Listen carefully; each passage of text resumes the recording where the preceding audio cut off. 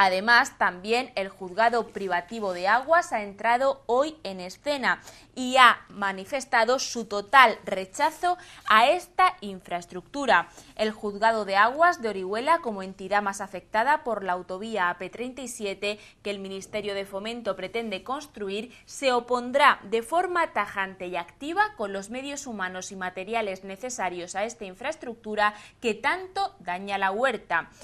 Una vez estudiado el estudio informativo, el anteproyecto y el estudio de impacto ambiental y elaborado el borrador de alegación, esta mañana el juez de aguas, Jesús Abadía, ha recibido en la sede del juzgado a los presidentes de los juzgados y sindicatos de riego de la Vega Baja afectados por la AP37, con el fin de consensuar una alegación común que presentarán mañana ante el Ministerio. Como decimos, todo es rechazo a esta nueva infraestructura propuesta ahora por Fomento, por el Ministerio de Fomento.